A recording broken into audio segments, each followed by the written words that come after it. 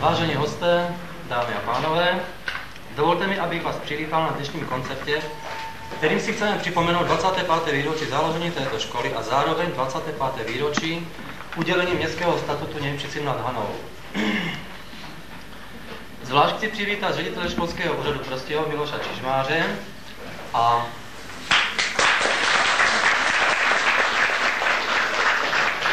oblastního školního inspektora pana Buchtu.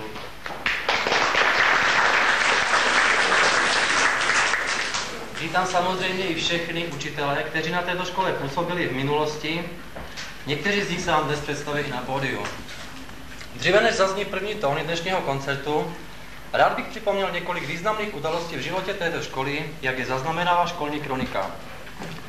Němčice nad Hanou odedávna známí, byli odedávna známi tím, že se zde s velikou oblibou pěstovala hudba a zpěv. Svědčí o tom i působení dvou místních kapel a dvou pěveckých sborů. Proto zde byl vždy zájem rodičů o hudební vzdělání dětí. Když v roce 1949 byla v nově utvořeném kojetinském okrese zřízena hudební škola, dojížděly děti, které se dříve učili soukromně u místních hudebníků do hudební školy v Kojetině.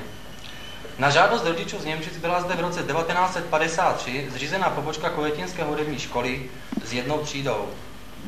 V roce 1960 po reorganizaci územního členění přešly Němčice okres, pod okres Prostějov, takže i Lidová škola umění se stala pobočkou Prostějovské školy. Ve školním roce 62-63 měla již 54 žáků v hudebním oboru a vyučovali zde tři učitelé. Další éra školy pokračovala udělením městského statutu Němčicím v roce 1969. V témž roce od 1.9.69 zde začala působit samostatná lidová škola umění se 125 žáky v hudebním, tanečním a výtvarném oboru a se zřízenými pobočkami v Brodku, Prostějova, Klenovicích a od 1.9.71 i v Nezamyslicích. Já věřím, že se i v budoucnu najdou finanční prostředky na činnost hudební školy, aby jsme i nadále mohli navazovat na muzikantské tradice němčického regionu. Závěrem chci poděkovat za přízeň, kterou v naší škole projevuje jak školský úřad Prostějov, tak i městský úřad Němčice, po stránce finanční, ale i morální, ale zároveň chci poděkovat vám všem za to, že jste přijali naše pozvání na dnešní koncert. Pěkný poslech.